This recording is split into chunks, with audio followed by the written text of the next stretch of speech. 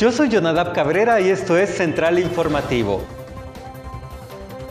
Este domingo 12 de febrero, el coordinador de diputados federales de Morena, Ignacio Mier Velasco, presentó el Instituto para la Transformación de la Vida Pública del país, el cual constará de más de 2.000 afiliados y tienen por meta realizar comités por subregiones. Esto en menos de ocho meses justamente antes de que sea la encuesta de Morena para elegir al candidato a la gubernatura de Puebla. En esta asamblea que se realizó en, la colonia San Manuel de la ciudad de Puebla, se dieron cita varios personajes de la vida pública y política del estado de Puebla, entre ellos morenistas y priistas se ve que nuestro amigo Ignacio Mier Velasco ya está afinando toda la estructura para buscar la gubernatura de Puebla.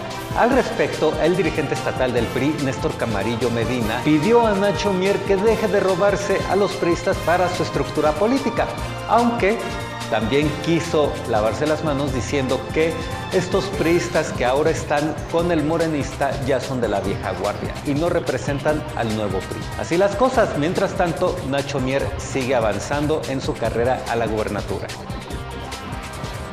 También el fin de semana, el gobernador Sergio Salomón Céspedes Peregrina se reunió con militantes del PAN, entre ellos diputados federales, diputados locales y presidentes municipales, como Eduardo Rivera Pérez de la capital poblana y Edmundo Telategui de San Andrés Cholula. En dicha mesa de trabajo, los panistas pidieron al mandatario poblano frenar la persecución política en contra de sus militantes, a lo que Sergio Salomón Céspedes respondió que solo se aplicará la ley, dando a entender que por supuesto ya no habrá cacería de brujas, pero si hay panistas o militantes de otros partidos políticos que incurran en actos ilícitos, por supuesto se les aplicará todo el peso de la ley.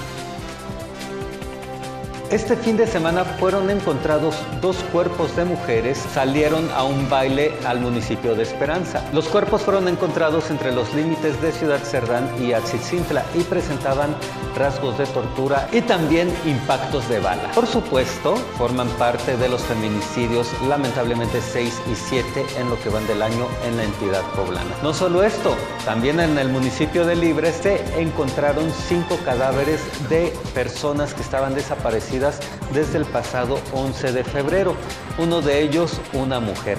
Y es que este municipio también no hay quien gobierne, es una tierra sin ley porque los delitos, las desapariciones y como ya vimos las ejecuciones van a la alza y mientras tanto Armando Ruiz no hace nada.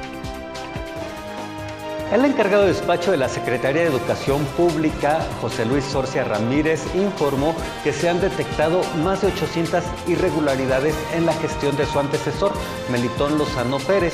Estas irregularidades tienen que ver con el otorgamiento de plazas, con la expedición de contratos de manera ilícita para los trabajadores de la educación, además de desvío de recursos. Dijo que se siguen investigando todas estas acciones de corrupción por parte de su antecesor y probablemente incurran hasta el daño patrimonial. Entonces sigue en la picota Melitón Lozano Pérez. Y precisamente hablando de la SEP, maestros de la sección 51 del CENTE, del Sindicato Nacionales de Trabajadores de la Educación, pidieron que se realice una auditoría de su actual dirigente Jaime García Roque, pues aseguraron que no la pasaría y, además pidieron que no se aprueben sus estados financieros porque hay diferentes irregularidades. Y es que él encabezó la sección 51 del CENTE por más de seis años.